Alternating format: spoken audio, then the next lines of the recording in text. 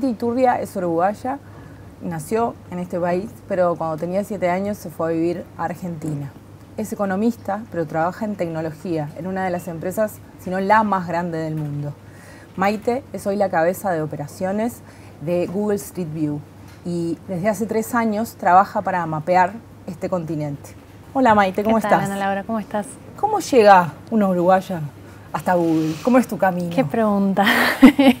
bueno, mi camino eh, básicamente, como tú contaste, empieza, yo nací aquí en Montevideo y a los siete años me fui a vivir a, Buenos Aires donde me formé. Eh, estudié economía, eh, hice un, una maestría en estudios organizacionales allí. Eh, y luego de eso como que empezó un recorrido eh, muy vinculado siempre a, a, la innovación y a trabajar en medios de, sobre todo de aplicación de tecnologías para distintos, en distintos eh, entornos, en distintas industrias. Eh, siempre tuve un interés muy particular por, por cómo distintas eh, distintas herramientas podían básicamente mejorar las condiciones en las cuales se desarrollaban ya tanto la vida de, de las personas como las actividades económicas, etc. Uh -huh. eh, entonces, eso empezó como a trazar un poco es mi perfil, ¿no? Eh, empecé a trabajar en, en, en, temas relacionados con la agroindustria, con, con el agro. con el agro, exactamente. Eh, estuve más o menos tres años trabajando en un programa, se llamaba Programa de Servicios Agrícolas Provinciales en Argentina, en donde trabajábamos con conglomerados productivos ¿sí? en distintas, distintos rubros, producción de semillas, producción de quesos, producción de frutos rojos, eh, sí, frutos, sí, frutos rojos. Eh, y junto con las cadenas, tomamos las cadenas productivas completas, ¿sí? desde los productores básicos hasta las eh, industrias procesadoras uh -huh. que estaban vinculadas a esa actividad, e identificábamos puntos en los cuales eh, era necesario implementar mejoras para aumentar la competitividad de toda esa, esa cadena. Eh, y después pasaste a, a trabajar en educación. Exactamente. en tecnología exactamente. Entonces, eso te lo cuento así en detalle porque después de eso comencé a trabajar en la implementación de tecnologías en el sector educativo. Y eso me llevó también a, vivir fuera de, Argentina, que era donde, donde vivía. Estuve viviendo unos años en Brasil, casi cinco años en, en Brasil, en San Pablo, dirigiendo una empresa que justamente eh, se dedicaba al desarrollo de tecnologías móviles para el sector educativo. Después viví también en Estados Unidos, en California, donde ahí empecé un poco a respirar cómo era el, ese entorno eh, innovador y, de emprendedorismo que rodea a Google. Luego volví a Brasil y mmm, la verdad es que yo llegué a Google eh, por por, por, una oportunidad que se me presentó muy, muy concreta. Como estaba, de casualidad, estaba, digamos. Sí, digo, conversando una tarde con amigos, eh, hicieron referencia a que había un puesto, de, este, este, mismo puesto que hoy ocupo, abierto. Entré en la página de Google, miré en qué, de qué, en qué se basaba, me interesó y apliqué. Me llamaron, me entrevistaron y aquí estoy. eh, pero, digo, yo creo que lo más importante para destacar es, eh, y que es un poco la razón por la cual a mí me interesó trabajar, trabajar en Google. Google es una empresa que está, cuya misión eh, básicamente es, creo que ya probablemente la, la han escuchado, organizar la información uh -huh. del mundo y hacerla accesible universalmente. Eh, y hay como, digo, en, en, en mis intereses hay, hay una, una, empatía muy grande con esa misión eh, y lo que noto es que eh, todas las, las personas que trabajan en esa empresa tienen un compromiso sumamente digo, profundo con, con, con, esa, con esa misión. ¿no? Bueno, Entonces, eso que decís engancha, digamos, ¿cómo es trabajar? Supongo que te pasará que trabajás en la empresa con la que, en la que sueña trabajar la mayoría de los adolescentes que, del Uruguay, supongo que casi todo el mundo. Sí, es ¿Cómo una, es? Es una empresa de, muy atractiva para, para trabajar. Y mira, yo te voy a contar, eh, la primera vez que llegué, que después que, de mis entrevistas y una vez que, básicamente acepté la propuesta que me hicieron, eh, lo primero que hice fue viajar a Mountain View, que es donde está el, el headquarter. Cuando llegué, lo primero que veo cuando veo en la puerta es en el edificio donde me habían enviado la dirección, veo un auto de Street View, que ahora ya los ven circular por las calles de, Uruguay, eh, puesto en el medio del lobby de entrada. A la izquierda, eh, por la calle que pasaba así por la izquierda, pasaba otro auto sin conductor, ¿sí? estaba dando vueltas un auto sin conductor. Y finalmente yo fui en una época eh, que era mm, cerca de Navidad. ¿Sí? había un, venado, un ciervo enorme, con una correa que le estaban dando de comer porque estaban filmando al lado un spot de, Navidad. Y así es todo el tiempo. Eh, es, o sea, ya una empresa que cuando, cuando entraste empezás a ver esos elementos, decís, este no es un lugar convencional para trabajar. Eh, y realmente eh, una de las, de las características es ningún día es igual al otro. Eh, es, un, es un entorno sumamente vibrante, ¿sí? y vibrante principalmente por el tipo de gente que trabaja ahí.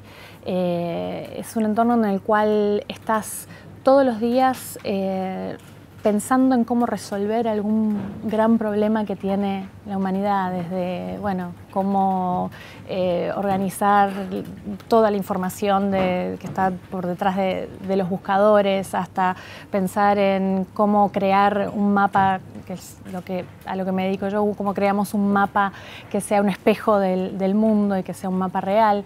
Em, entonces, digo, es un entorno así, sumamente dinámico, en el cual todos estamos como muy acogidos y concentrados en, lo que tenemos que hacer. La empresa te da ciertas comodidades que hacen que puedas hacer lo que tenés ganas de hacer y sin preocuparte demasiado por, resolver cosas de Pero supongo que también, digamos, también debe, debe ser muy desafiante saber que tus decisiones tienen también un impacto en la humanidad, como decís absolutamente, Absolutamente, Pero digamos, eso yo creo que es Em, la motivación principal por la cual eh, los empleados de esta empresa están ahí, em, y eligen estar ahí. ¿sí? Eh, realmente estás la, conexión que, yo siento que tenemos con esa causa general, Dios, hacer cosas que tienen impacto, hacer cosas que, van a mejorar la, vida y las condiciones de, desarrollo de las actividades en el resto del mundo, es, muy motivante. ¿no? Y contame un poco, o sea, hay gente que sabe, pero hay mucha que no. ¿Cómo, ¿Cómo, funciona Google Street View? ¿Qué es como proyecto? Bueno, Google Street View es una funcionalidad que está incorporada a Google Maps.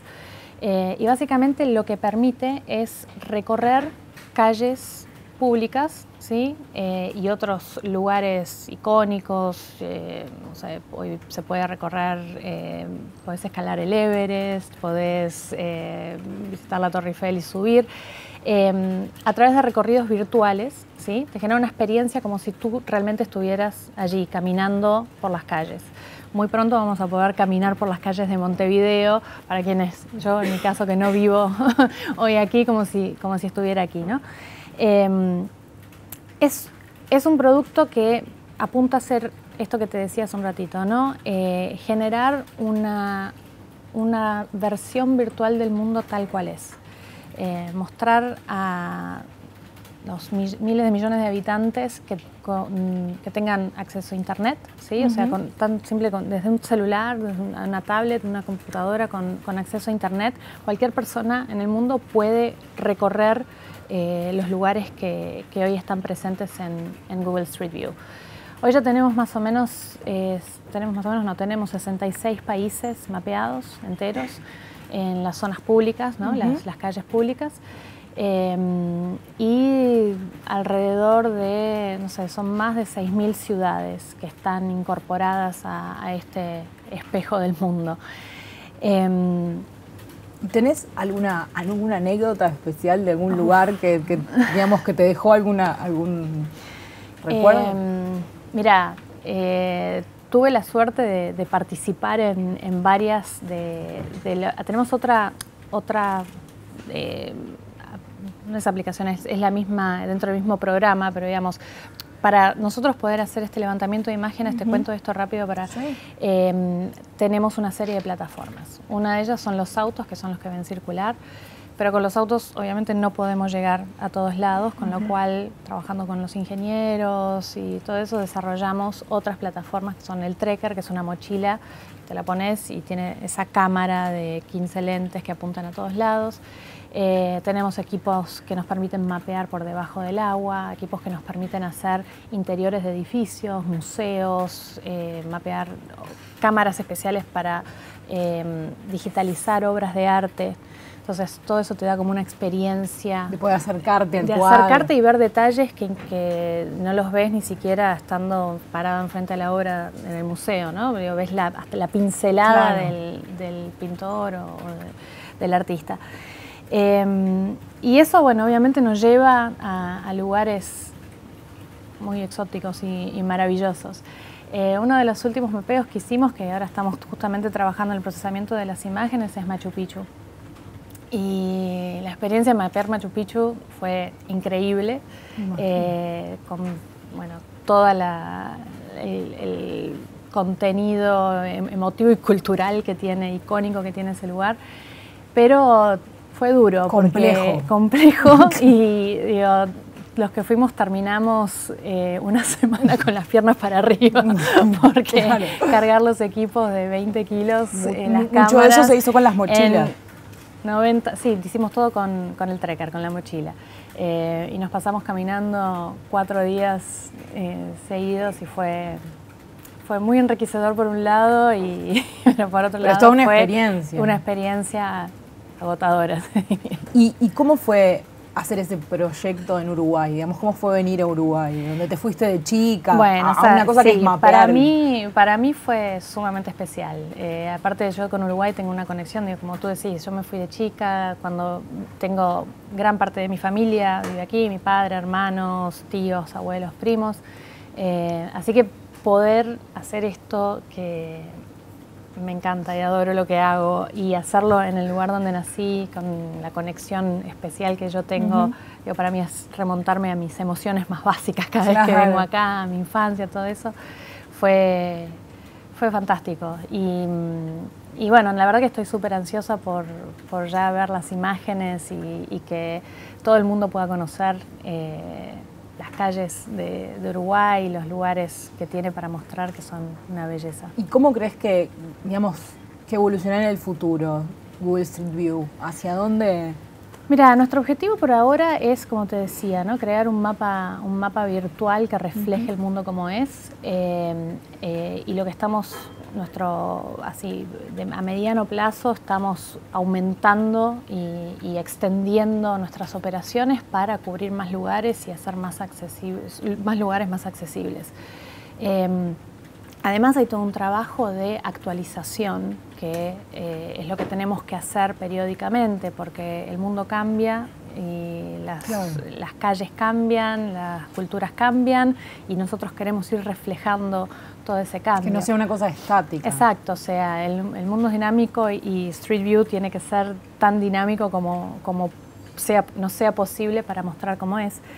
Em, y una, una, cosa muy interesante que, que, nos pasó a partir de esta, esta como carrera por, por tener nuestros, nuestras imágenes actualizadas es que fuimos acumulando un banco de imágenes ¿no? de un mismo punto a lo largo del tiempo. Eh, entonces es como que de ciertos lugares tenemos como un archivo histórico de, su evolución. Y todo eso lo compartimos hace poco con los usuarios, lanzamos una funcionalidad dentro de Street View que se llama Time Machine, la máquina del tiempo. Te permite pararte en un lugar y ver cómo ese lugar evolucionó desde que empezamos a recolectar imágenes en ese punto. Eh, entonces eso también es una vía para nosotros de, desarrollo en los próximos años. Ir, registrando eso, que tiene una pluralidad de usos enorme. Uno de los, uno de los usos más significativos de este producto y que a mí además me, eh, son esas cosas por las cuales pienso todos los días que hago lo que hago.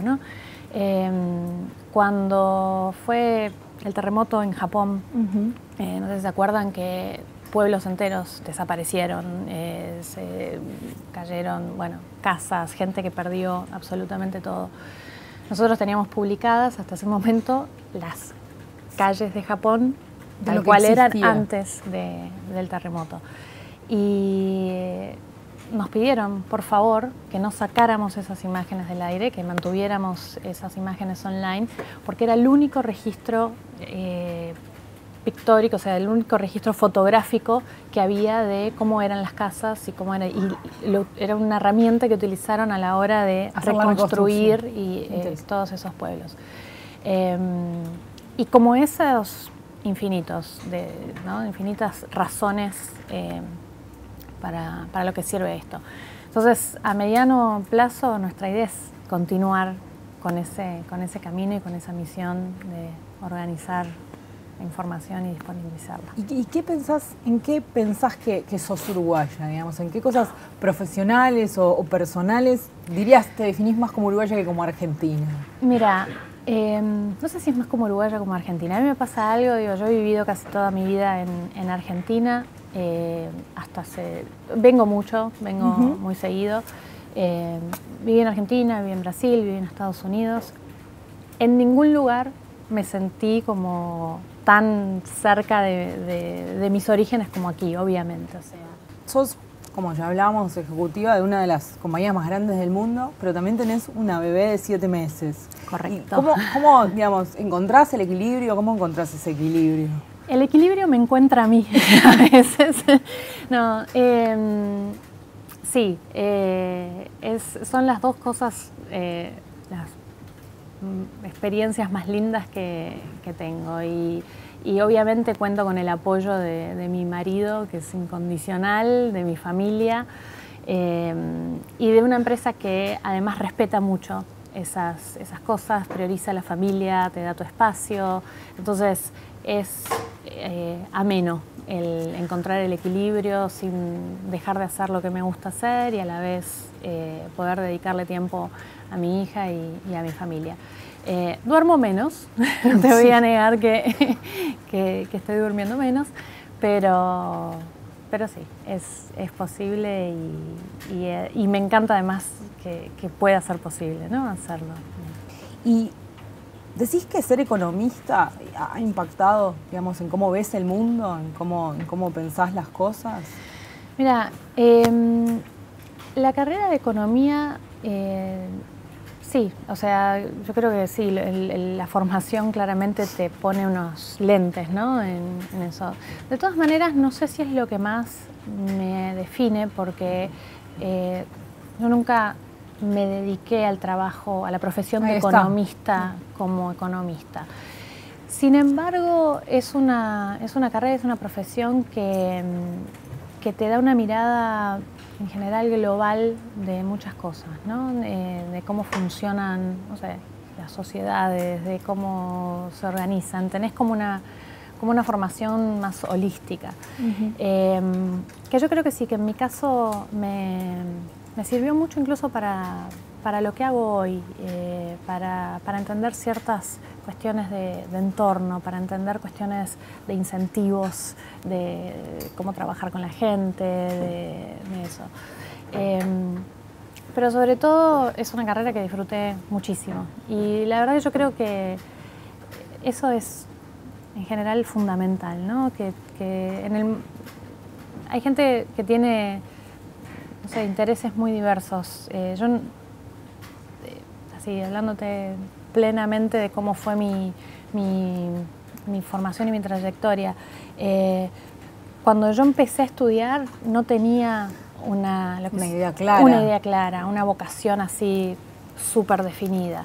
Un camino que fui construyendo, que fui viendo en, diversos intereses que, tenía y sí en, como en ciertos... Eh, ideales, eh, ¿no? de, qué cosas me resultaban significativas y qué cosas eh, para mí eh, eran, eran relevantes en ese momento para, para mí, para el, para el entorno que, en el cual estaba, para, para la sociedad, para, para, eso. Siempre tuve una conexión con ese lado. Así llegué a economía, ¿no? Dije, bueno, a ver, quiero entender un poco eh, básicamente cómo se organizan las sociedades productivamente, cómo hacen para reproducirse, para, para, progresar, para manejar la innovación, para etcétera. Eh, y de ahí emprendí ese camino. Pero sí, creo que, que, afectó mi búsqueda, ¿no? Que afectó y parece como que el denominador común fuera la tecnología, digamos, en, tu ruta. ¿Qué crees que dice eso de vos? Em, yo eh, creo que la más que tecnología en sí, para mí es la innovación. Em, y eso sí es, de nuevo, ¿no? Es, como una, esto que te decía, yo soy, no sé, tengo como una profunda convicción de que, de que las sociedades y, los países se alimentan de la innovación. Eh, y la posibilidad de, conectarme con eso, de, gestionar procesos que, introducen herramientas, tecnologías que ayudan a proliferar la creatividad y la innovación, es, algo que te diría más fuerte que yo, es lo que me gusta hacer. Eh, y, bueno, cuando uno se conecta con lo que le gusta hacer, eh, está contento y creo que le va bien, ¿no? Es, eso es el, para mí. Tal cual. Muchas gracias, Maite, por no, por favor, en la redacción. un placer estar aquí.